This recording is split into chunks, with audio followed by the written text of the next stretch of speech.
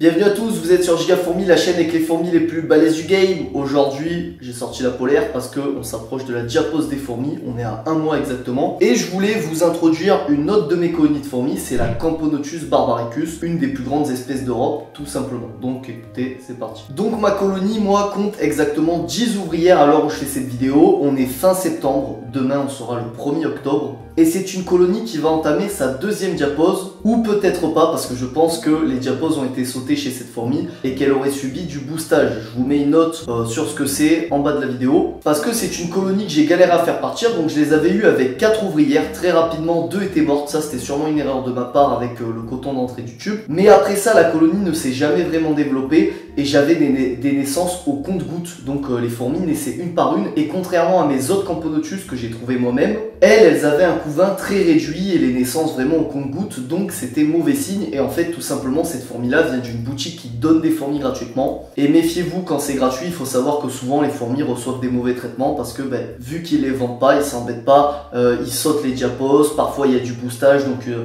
une reine qui a du mal à pondre, etc. On prend des cocons d'une autre colonie, on lui donne, une autre colonie de la même espèce. Et ces pratiques-là impactent la santé des fourmis, ce qui fait que c'est pas bon et des fois tu te retrouves, c'est qui tout double? Des fois quand tu prends sur ces sites, tu te retrouves avec des fourmis qui sont vraiment pas super, donc attention à ça. Mais malgré ça, ça a pris plus de temps mes autres colonies, mais j'arrive à la faire partir petit à petit. Là, il me reste un peu de couvain, j'ai encore quelques cocons. Euh, cette fois-ci, j'en ai 4-5, donc je vais avoir plusieurs naissances d'un coup. Et j'ai réussi à avoir plusieurs naissances, donc je suis passé de 2 ouvrières à 10 aujourd'hui, donc c'est plutôt bon signe. C'est une colonie, quand je les regarde pas, qui est pas du tout active, elle bouge pas trop, c'est très discret pour l'instant. Ça, en général, on le retrouve chez toutes les jeunes colonies de fourmis qui sont souvent très timides. Et par contre, j'ai l'impression qu'elles sont très agressives par rapport à mes autres Camponotus. Elles sont pas agressives parce qu'elles vont m'attaquer, mais elles sont vachement sur la défensive. Donc quand je viens mettre de la nourriture, etc., elles attaquent et comprennent pas ce qui se passe. Souvent, quand j'ouvre la petite aire de chasse, j'en ai 2-3 qui courent et qui sortent. Alors heureusement, j'arrive à les remettre assez facilement, mais elles sont vraiment très réactives et très sujettes au stress, en tout cas ma colonie à moi. Donc attention, si vous élevez cette espèce-là, elle est sûrement plus sujette au stress que les autres espèces. En tout cas, elles sont sympas, c'est une très grosse fourmi, la reine est vraiment balèze, je vous les mets à côté d'une pièce de 2 euros. Elles ont aussi des très belles couleurs, donc elles ont le thorax à la manière de mes Campotus perda, je vous mets euh, la vidéo dans un coin, qui est un peu rougeâtre, marron, et elles sont vachement grosses, vachement hautes sur pattes. Il faut savoir encore une fois que moi, là, c'est la toute première génération d'ouvrières, et les toutes premières naissent sont toujours plus petites, donc on devrait observer l'année prochaine, après leur diapose, des ouvrières beaucoup plus grosses. Euh, ça devrait être normalement assez impressionnant, donc j'ai hâte de vous montrer ça. Comme d'habitude, je vais leur créer une playlist que je vous mets dans la description de la vidéo pour suivre leur évolution.